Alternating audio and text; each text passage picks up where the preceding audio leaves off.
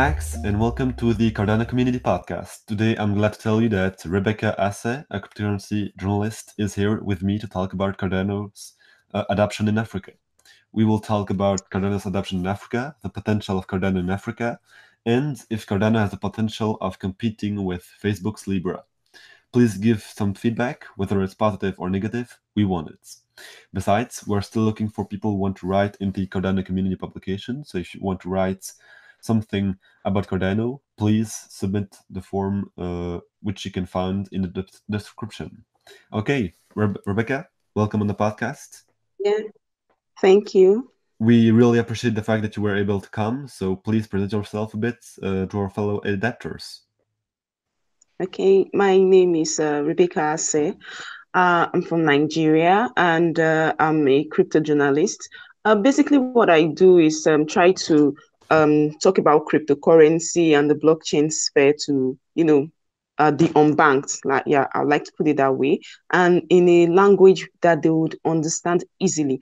Um, I came to understand that um, in the crypto sphere, everybody just wanted to be all about what they could gain about the gain from, gain from cryptocurrency, and nobody was concerned about you know what this unbanked we're actually getting from crypto. So, and uh, I started doing, um, you know, videos uh, on cryptocurrency in Pidgin English. Pidgin English is like, um, uh, well, it's not our official language in Nigeria, mm-hmm. but it's more like the language of the people. It's a very common yeah. language. Everybody yeah, speaks yeah. Pidgin. Everybody speaks Pidgin in Nigeria. So it's just like broken English. So that's what we speak. Everybody speaks it. It's easy for, for people to understand it. It's like language of the streets. So if we are talking about getting cryptocurrency to the unbanked, then I think it's it's better to start, you know, speaking in their language. You know, we go for events and all people say, you know, it's technical terms and, you know, in blockchain events for developers and for enthusiasts these people are not the ones who the blockchain technology and the cryptocurrencies for cryptocurrency is actually for inclusion. So if we're talking about inclusion, then I think we should bring, you know, the unbanked that we are really talking about into cryptocurrency. So that was why I started, um, you know, uh, talking about cryptocurrency in Pidgin and trying to make people aware of what cryptocurrency is.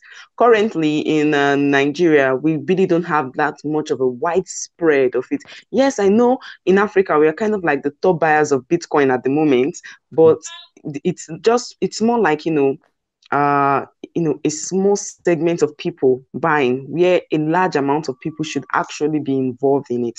So basically, that's what I do.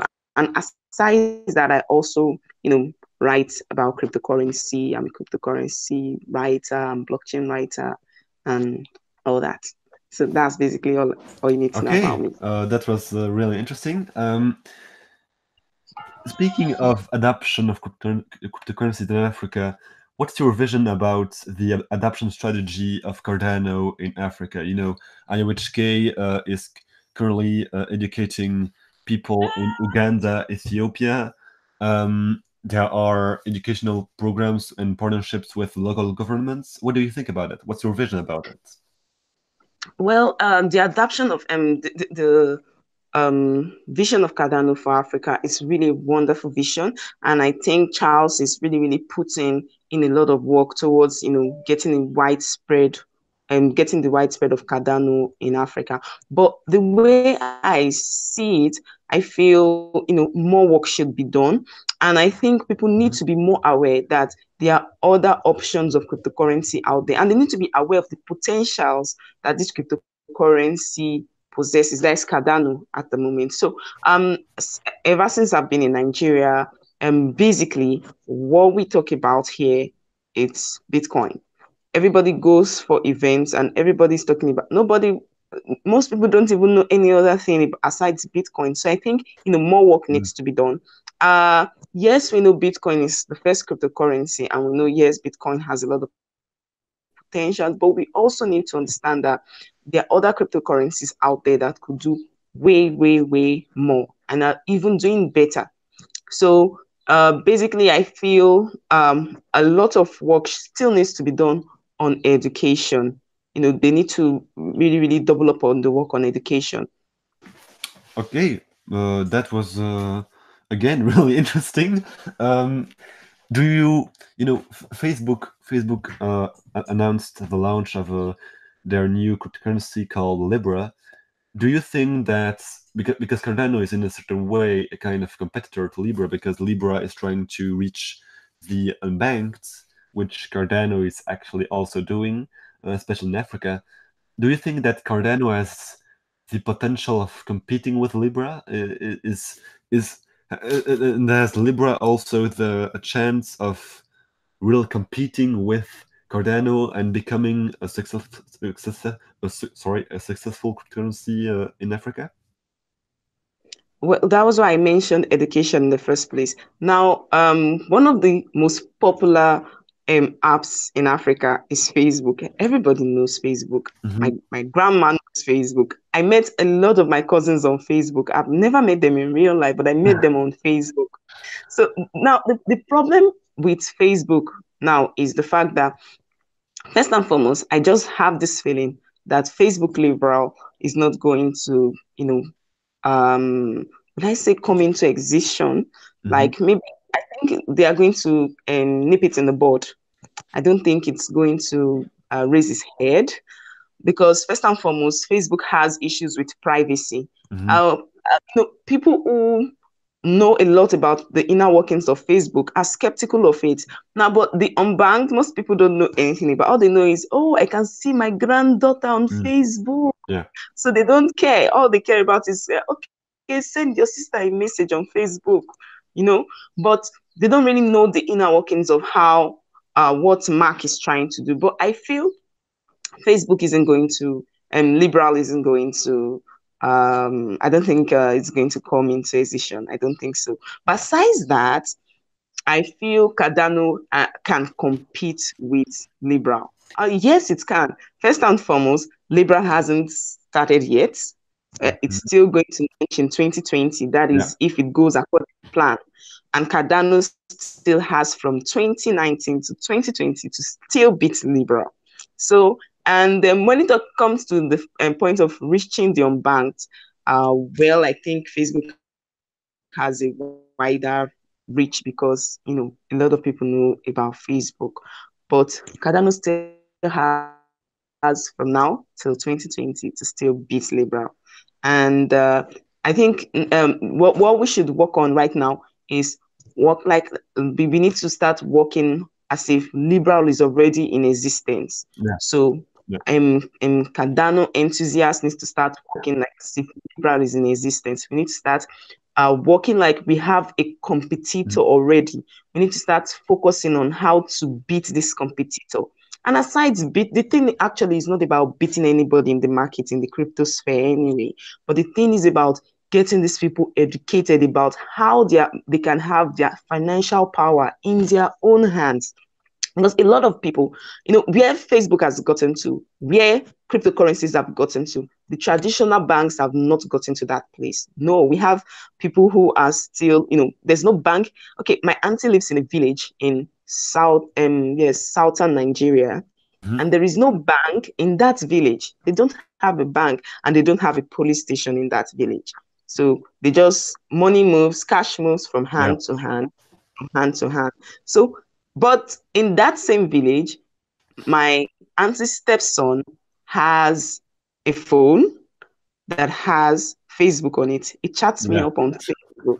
So now you can see that the bank has not gotten up to the place where Cardano and Facebook can reach. So now we have to start working like there is a competi- in competition already, and mm-hmm. then we have to make sure that we beat this competition.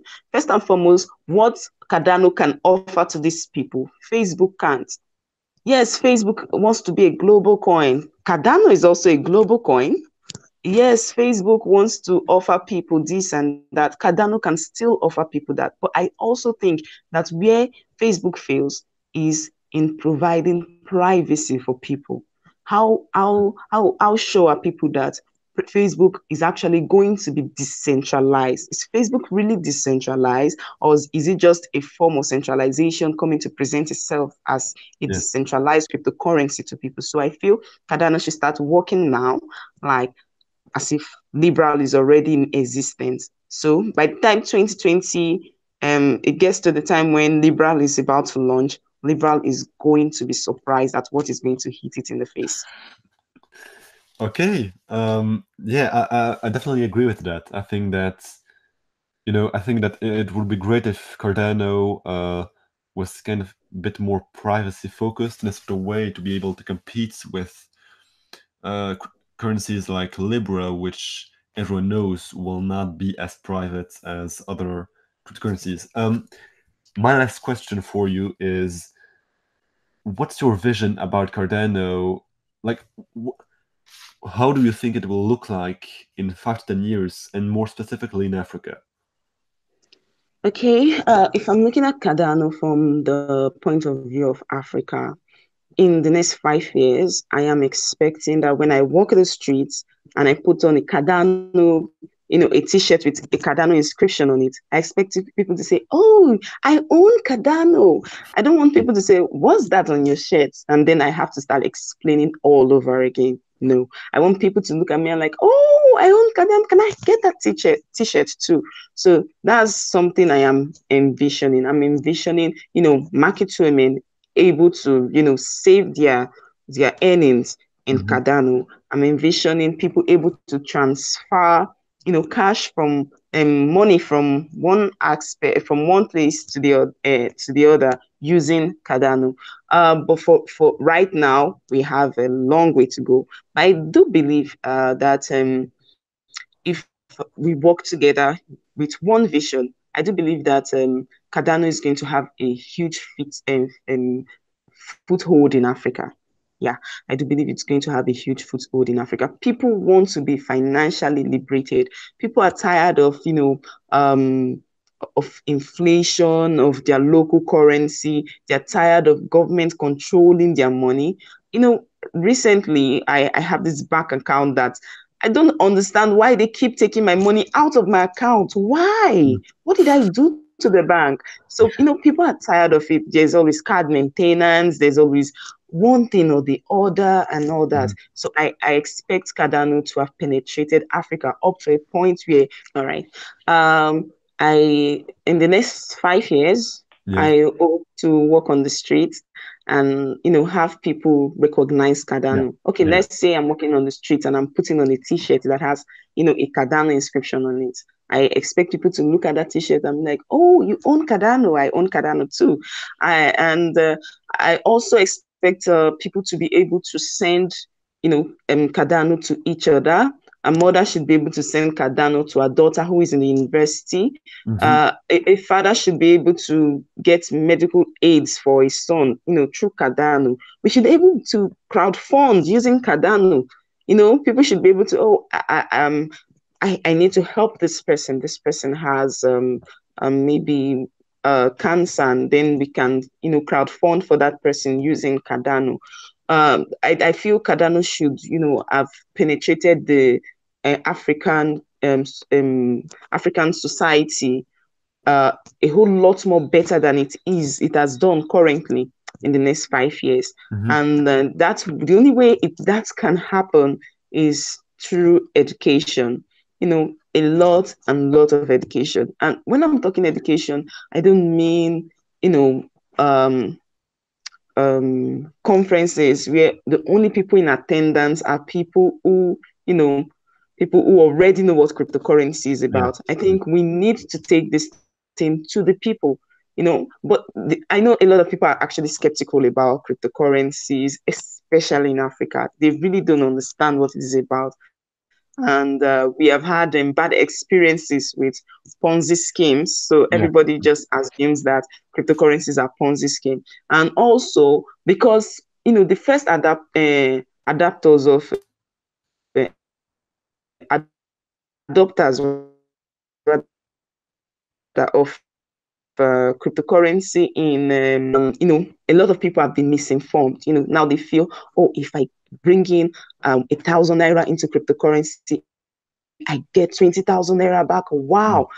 so now it's more like you know a make a money making machine for them and they, yeah. they need to understand that cryptocurrency goes beyond just that so I think we need to focus more on education, education, and more education. Okay, education, education, education. That's the key to success, uh, if I understood you well. Um, this was a real interesting interview. Uh, thank you very much, Rebecca, for being here. I know you are pretty busy, but uh, thank you for your time. We right, thank you. You're welcome. You, we really appreciate it. Uh, okay, so this was the interview. Thank you very much, and uh, please come back to the Cardano Community Podcast whenever you want.